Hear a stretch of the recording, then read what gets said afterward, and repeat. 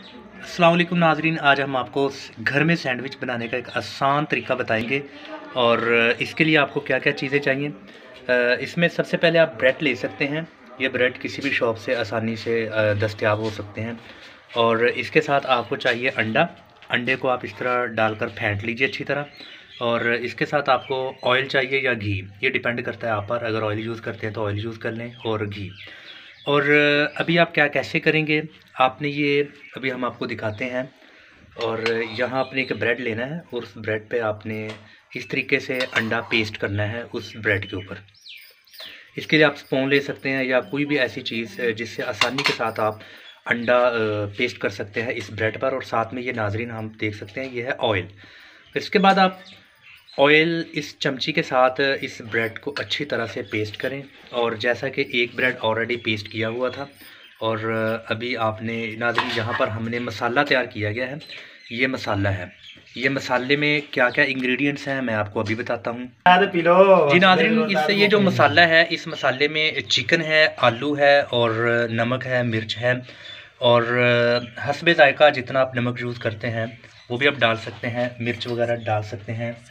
और सब्ज़ मिर्च को भी आपने जो सा है वो ब्रीक ब्रीक काट के डाला है इसमें और ब्लैक पेपर है इसमें। तो ये हमने मसाला तैयार किया गया, जो कि हमने इसमें सैंडविच में ये लगाना है। जी नाजरीन, अभी इस ब्रेड पर ये जो हमने तैयार किया गया है और ये हम इस पर अभी अपना मसाला लगा रहे हैं, जो हमने एक मुकम्मल अच्छे तरीके से तैयार किया है। और आप देख सकते हैं, आप हाथ का भी यूज़ कर सकते हैं और अपने स्पॉन से भी आप इसको, इस ब्रेड के ऊपर लगा सकते हैं।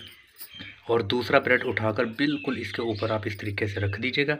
और और इसी तरह दूसरे ब्रेड पर भी ये जो हमने अभी मसाला तैयार किया है और ये दूसरे ब्रेड पर लगाया जा रहा है, आप इसको इस तरीके से अच्छी तरह से ब्रेड के चारों कोनों में अच्छी तरह से आप इसको उंगलियों के साथ दबाएँ, लगाएँ और ताकि ये उतना ही टेस्टी हो।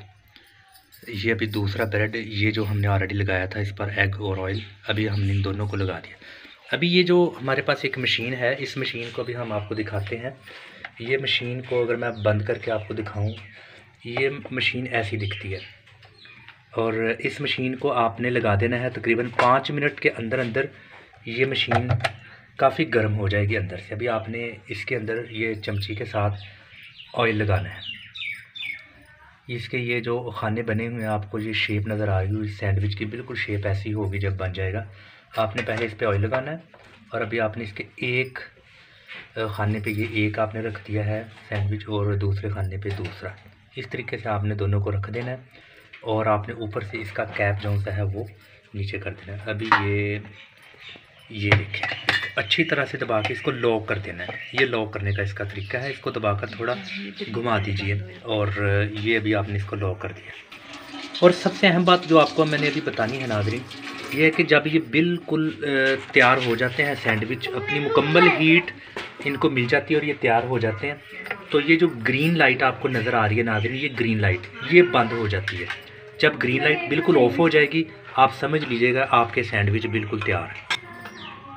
इस वक्त ये जो सैंडविच हैं, इसमें बिल्कुल तैयार हो रहे हैं। सैंडविच तकरीबन तीन चार मिनट हो चुके हैं, हमने सैंडविच रखे हैं। अभी तक ये प्रोसेस अंदर जारी है और तकरीबन तीन चार मिनट और दरकार हैं। ये ग्रीन लाइट ऑफ़ हो जाएगी। इसका मतलब कि सैंडविच बिल्कुल तैयार है। हम निकाल कर सैंडविच को आपको दिखाएँगे। बस दो तीन मिनट और वेट कीजिए। जी नाजरीन, जैसा कि भी आप देख सकते हैं कि ग्रीन कलर की लाइट अभी इस वक्त ऑफ़ हो चुकी है, जिसका मतलब ये है कि हमारे सैंडविच बिल्कुल तैयार हो चुके हैं। अभी हम आपको दिखाते हैं सैंडविच अभी ये ओपन करते हैं हम इसकी कैप को।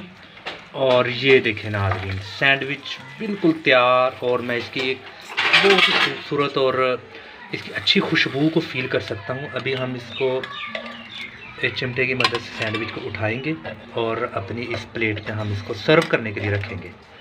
आ, ये हमारे दो अदद सैंडविच बिल्कुल तैयार हैं तो नाजी ये सैंडविच इस वक्त आमना खा रही हैं और बहुत लजीज सैंडविच है। जी आमना बेटा कैसा आपको लग रहा है ये सैंडविच बहुत मज़ेदार है। तो नाजरीन, आज हमने आपको बहुत ही एक आसान तरीका बताया है कि घर में आप सैंडविच कैसे तैयार कर सकते हैं। आप खुद ट्राई कीजिएगा अपने घर में ये सैंडविच बनाने का आसान तरीका।